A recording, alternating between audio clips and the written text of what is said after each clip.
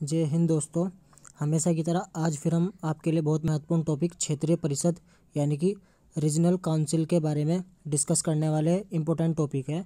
Topic की शुरुआत राज्य पुनर्गठन अधिनियम उन्नीस सौ छप्पन।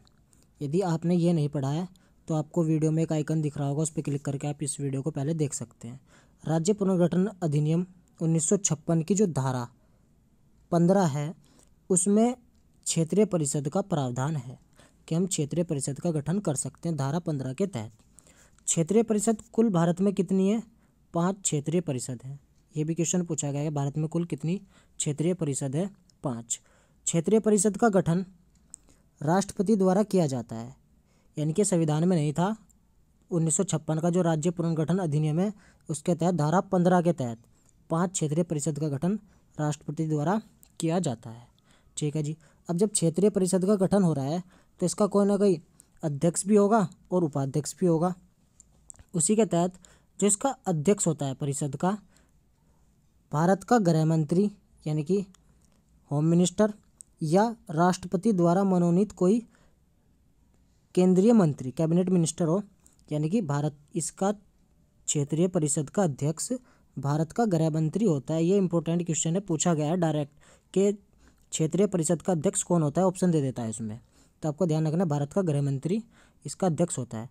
और यदि उपाध्यक्ष पूछे, संबंधित राज्यों के मुख्यमंत्री, अब जो संबंधित राज्यों के मुख्यमंत्री क्या होते हैं? इसके उपाध्यक्ष। और उपाध्यक्ष के तहत ये प्रतिवर्ष बदलते रहते हैं। तो इम्पोर्टेंट क्या है? परिषद का अध्यक्ष कौन है? गृह मंत्री होता है। अब कितनी है ये? टोटल पाँच है। तो इनके हेडक्वार्टर पूछ लेता है टोटल कौन कौन सी कहाँ पर है? देखो दोस्तों, इसको समझना कैसे है? ये भारत का मैप समझो। पूर्व पश्चिम, उत्तर, दक्षिण। तो चार तो ये हो गई और एक बीच की होगी, क्षेत्रीय परिषद होगी जो, ठीक है? पूर्व में पूर्व वाली कौन सी होगी? इधर वाली साइड के जितने भी होंगे, इसका हेडक्वार्टर यहाँ, कोलकाता में बड़े बड़े शहर वाला। कोलकाता में बनाया गया है मुख्यालय, ठीक है? पूर्व के बाद पश्चिम हो। पश्चिम वाला इलाका ये, यानी कि मुंबई, बड़ा क्षेत्र हो गया पश्चिम का तो इसका हेडक्वार्टर पश्चिम वाले का कहाँ है? सॉरी उत्तर वाले का इलाके का हेडक्वार्टर कहाँ है? उत्तरी क्षेत्र का दिल्ली में है और दक्षिण वाले का चेन्नई में है। बचा एक मध्य मध्य वाले का हेडक्वार्टर इलाहाबाद में है। तो आपको पाँच के पाँच ये जो क्षेत्रीय परिषद है, इनके हेडक्वार्टर पता लगे। पूर्व पूर्व में कोलकाता, पश्चिम में मुंबई, उत्तर में दिल्ली, दक्षिण में चेन्नई और मध्य में है आपका इलाहाबाद। आपको ये कंटिन्यू याद हो जाएँगे।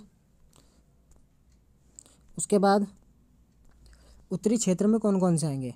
उत्तर में कौन सा है? पंजाब, हरियाणा, राजस्थान, हिमाचल प्रदेश, जम्मू कश्मीर, लद्दाख, चंडीगढ़ और एनसीआर दिल्ली का क्षेत्र। और मध्य वाले में यूपी, उत्तराखंड मध्य में आ जाएगा, एमपी और छत्तीसगढ़। ये मध्य वाले राज्य हो जाएँगे तो मध्य क्षेत्रीय परिषद। दक्षिण वाले में आंध्र प्रदेश, तेलंगाना, केरल, कर्नाटक, तमिलनाडु, पांडुचेरी संसाधित क्षेत्र। किसमें आ जाएँगे? दक्षिण वाले में। लास्ट, पूर्वी और पश्चिमी बचे हैं। पूर्वी में कौन कौन से आएँगे? पश्चिम बंगाल पूर्व में, क्योंकि हेडक्वार्टर कहाँ है? कोलकाता में, बिहार, झारखंड, ओडिशा, असम, सिक्किम, मणिपुर, त्रिपुरा, मेघालय, अरुणाचल प्रदेश, मिजोरम और नागालैंड। ये सारे के सारे पूर्वी वाले इलाके हैं। पश्चिम में मुंबई के आसपास के क्षेत्र, महाराष्ट्र, गुजरात, गोवा, दमन दीव, दादर नगर, हवेली, ये संशासित क्षेत्र किसमें आ जाएँगे? मुंबई वाले इलाके में आएँगे। आई होप आपको ये चीज़ें समझ में आई होंगी। यदि आपको वीडियो अच्छी लगे तो प्लीज़ लाइक, कमेंट करके ज़रूर बताया करें। यदि चैनल पर आप नए हैं तो प्लीज़ चैनल को सब्सक्राइब कर लें ताकि आने वाली वीडियो का नोटिफिकेशन सबसे पहले आपके पास पहुँच सके। फिर मिलेंगे नेक्स्ट वीडियो में, तब तक के लिए जय हिंद, जय भारत।